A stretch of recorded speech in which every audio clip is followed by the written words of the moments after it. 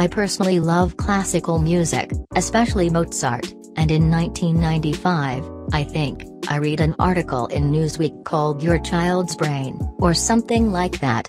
I remember it was written by a journalist named Sharon Begley. In it, she reported on the benefits of listening to classical music and such.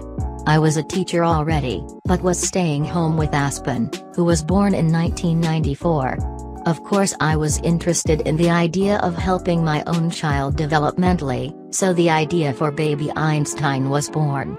The first video, which was then just called Baby Einstein, there was no language nursery attached, was an attempt to expose babies to the sounds of different languages, something I'd read about in the same article.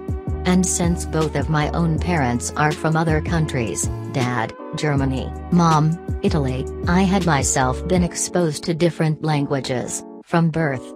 I used nursery rhymes to add a cultural element to the audio, each rhyme was traditional in the country, language being represented.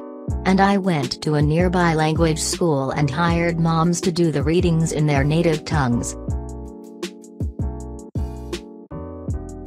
Today, it would take Mark Burr, Bill Weissbach and I about 8 weeks, start to finish.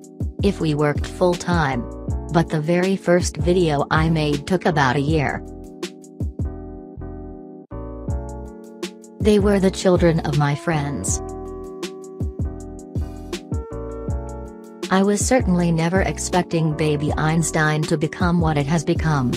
Baby Mozart was beautifully timed, which was a happy accident. Right around the time of its release, the news was talking about the Mozart effect and the work of Don Campbell, who was a professor in Toronto, I believe.